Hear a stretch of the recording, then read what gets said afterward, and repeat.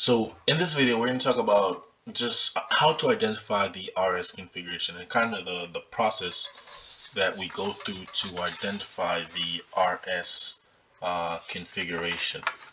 Hmm? Now, there's some couple of steps, right? So this is the RS uh, configuration, how to identify it. And essentially, the first step you want to do is identify your chiral center. Now your chiral center again in this video we're going to define as just any atom that has four different things bonded to it. Hmm? Now next thing you're going to do is rank your group right by atomic number and your group what we mean is that the number the substituents around the the, the, the the atom of interest we're going to rank them by the atomic number hmm?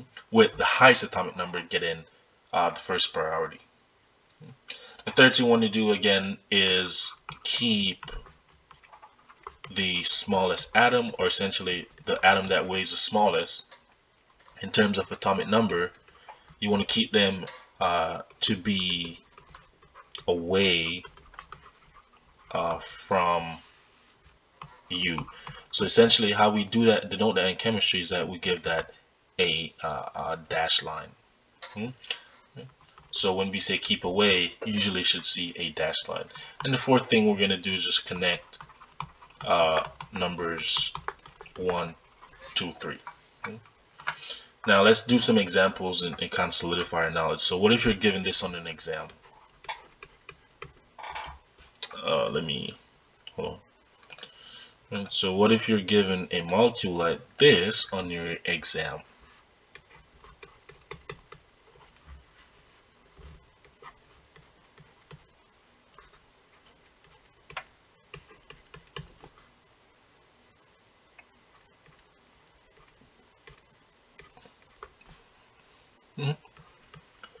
So the first thing you want to do is, okay, we want to know, do we have any RS configuration? The first thing we want to do is identify the chiral center, right? So we know that the chiral center, again, is this carbon in the middle. It has four different things bonded to it.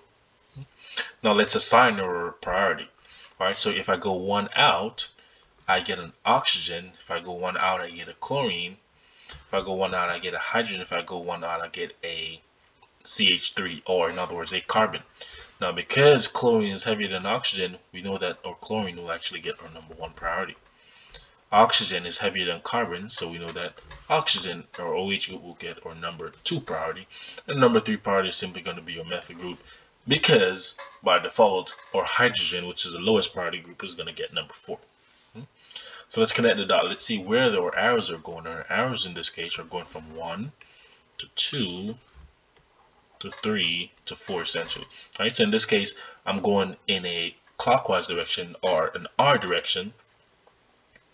But remember that we said that we have to keep our smallest uh, atom, it has to be away from us. In other words, it have it has to get a dash right? In this case, it's not getting a dash, it's just sitting in the plane of the board. And so in this case, you have to flip it, right? So if you're getting R in this case, like we were getting, then the chiral center is in fact S.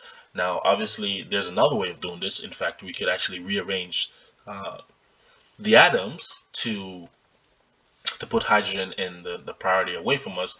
But again, uh, that's just not how, how we're going to approach it. That's just time consuming. Uh, but again, uh, you're welcome to do that on your own time. What if we what if we were given something like this? And we're going to start off easy uh, and just ease into uh, some more complicated examples.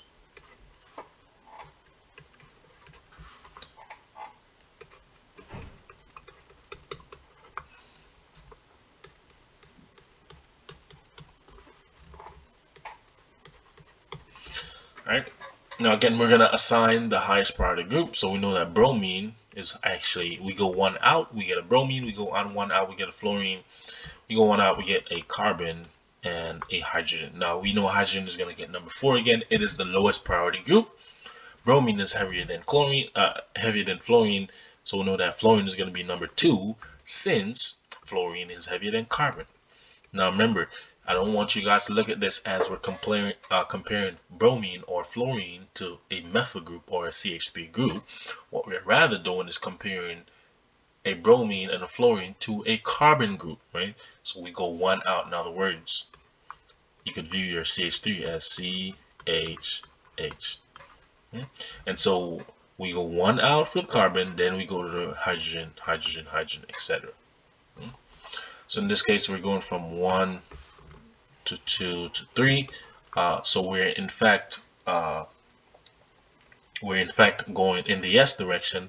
And in fact, this is S. The reason why we don't need to do any flipping is because our hydrogen or or our lowest priority group is essentially already going away from us. Hmm? So whatever uh, chiral center we get, that stays the same. So converse that to the first problem that we did. It's a huge difference. And uh, uh, uh really good practice. Uh, let's, let's look at this one.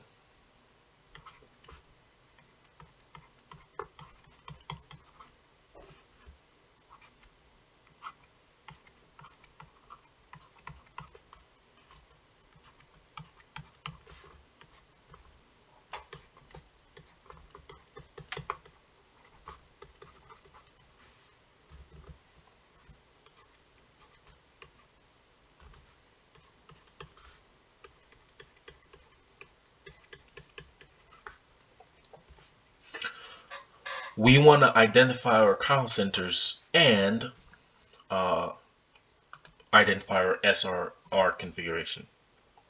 Right? Now in this case, I want you to take a look at the two carbons. This is not a chiral center. Well, this carbon, right? Again, because remember I said that a chiral center, for our definition purposes, is going to be a carbon center, that, or, it doesn't have to be carbon, but usually an atom uh, that has four different substituents on it. In this case, we have two methyl groups, two of the same groups. Uh, so in this case, the left carbon will not be a chiral center. However, the right carbon uh, is a chiral center, as we can see that there are four different things bonded to it. We have the green circle as a whole that's bonded to it. We have a hydrogen, a methyl group, and a CH2Br group. Hmm? Now, what gets number one priority? We already know that our hydrogen gets number four. Uh, well, what gets number one? Well, I want you to think of the CH2 BR as C H H BR. And I want you to think of the CH3 as C H H H. Hmm? Now, if I go if I go one out, I get a carbon, but I also get a carbon here. Hmm? And if I go one more out, I get a hydrogen, I'm still tied. I get a hydrogen, I'm still tied right here. However, I get a bromine and a hydrogen. So we know that this is of a, a higher priority group than this. Now, what about this bulk group? Well, if I go one out, I hit a carbon. But the next one out is actually a fluorine. And the reason why we go fluorine first from the carbon is that we rank the substituents by the atomic number. So fluorine is heavier than both these carbons, right? So fluorine goes first. So when I go, so I'm distinguishing between the three atomic groups.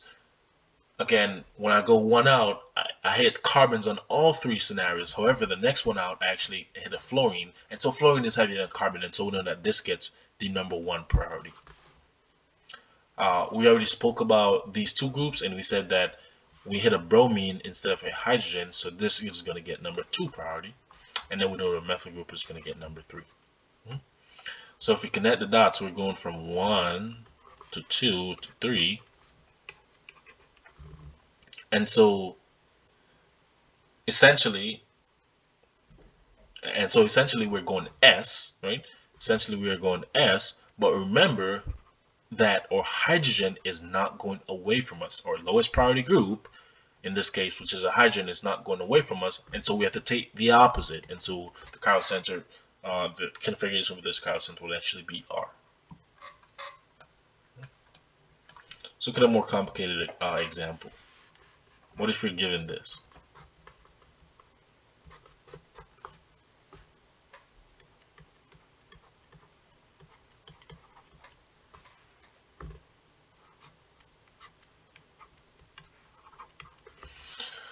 Well, we have to identify the chiral centers before we can actually do anything.